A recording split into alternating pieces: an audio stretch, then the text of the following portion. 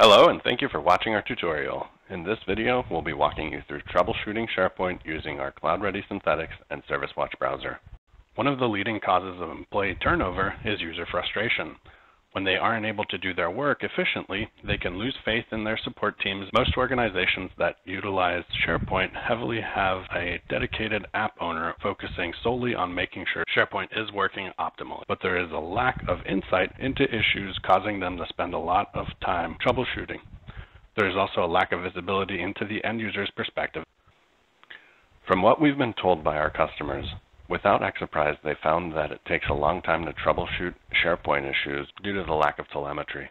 Because of this, they struggle to figure out if it's SharePoint itself having the issue, the user's device, or the network in between. Most importantly, there's a lack of proactive monitoring.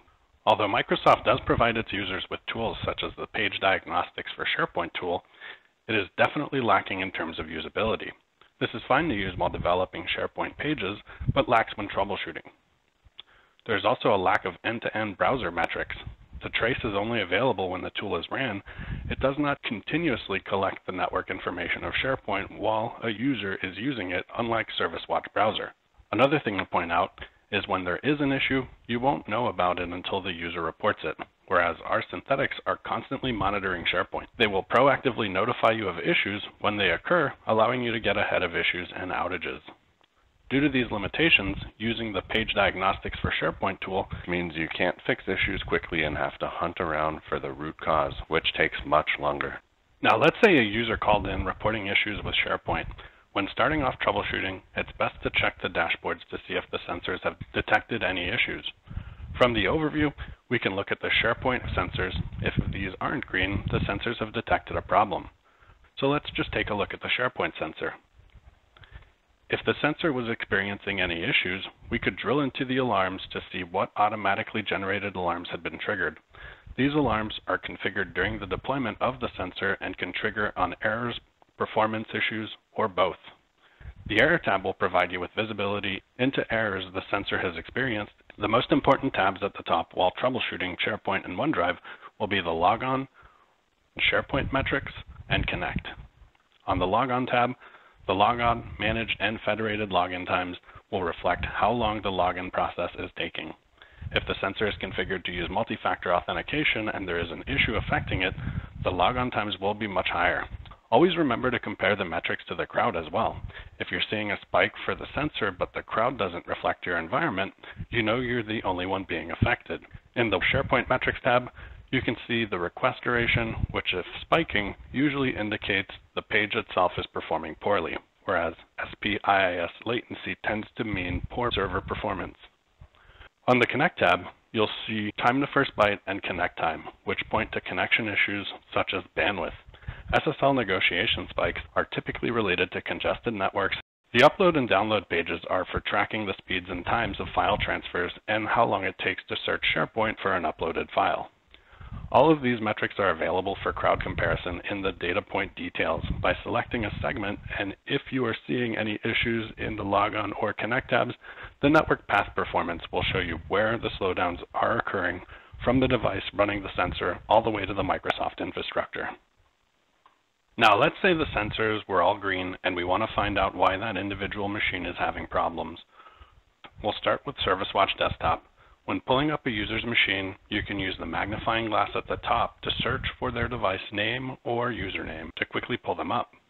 You'll be presented with the device experience score and resource scores. If these scores are lower, it could be the device running out of resources, which you can get more visibility into below. If you are not seeing issues with resources on the device, you'll want to check Service Watch Browser. To quickly pull up that user, click into the web scores metrics. Once Service Watch Browser pulls up, you can apply a filter for the domains and limit it to SharePoint. If you wanted to see only users' browser data, you can filter by user as well. When scrolling through the Service Watch browser data, you'll be presented with the web experience score on most graphs. The higher the bar here, the better the page is performing. You'll also have the navigation and resource average. This is how long resources take to load and time for that page to load. The request segments indicate the percentage of navigation time spent from the device across the network and the web server.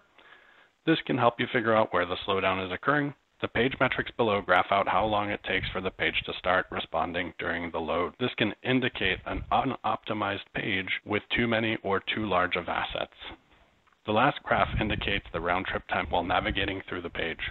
By selecting a data point in the graph, the Network Path Performance tab at the bottom will populate, showing you exactly where the slowdown occurred from the browser or the web page and back. Use this to identify if a proxy is causing the slowdown, as well as see if the traffic is routing properly. If not, you may want to look into your DNS configuration. The Error tab will list any errors that occurred from the browser. It can help identify broken or missing assets, such as JavaScript and CSS issues. Moving along the tabs, the data point details will provide you with timings waterfall to visualize the full load of the page and have a step-by-step view of what is the slowest component of the web request. Long secure connects and responses are usually indicative of network congestion. DOM interactive and DOM complete lasting a long time typically point to an issue with the page itself. In the transactions at the top, you can track where a user clicked on the page and see how long it took to load. By removing the filter, the Users tab will show the timings of all of the pages or domains being monitored by ServiceWatch Browser to easily compare the browser performance between them and all the request types initiated.